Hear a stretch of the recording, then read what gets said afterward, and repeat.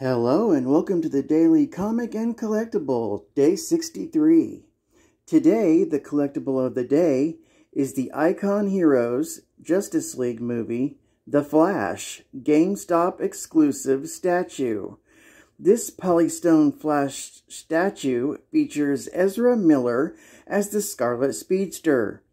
Designers showcase the superhero's intricate armor and capture the actor's likeness. This statue measures 7 inches tall and comes with included base.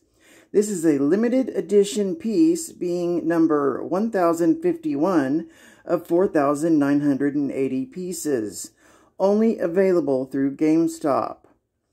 Now, the comic of the day is Justice League number 46 from August of 2020.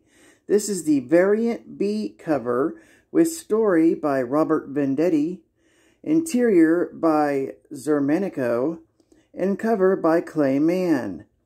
As the Spectre's wave of vengeance sweeps across the world, the team must enter the pit of Tartarus and find Jim Corrigan to quell mass retribution. But first, they will have to fight their Amazonian hosts to get into it. This is considered a key issue being the first cameo appearance of Tartarus, the first god of hell. Now, I'd like to thank you for joining me for day 63 of the Daily Comic and Collectible, and I hope you join me tomorrow for the next episode. This is Cat Fan Comics Man. See ya on the flip. Over and out.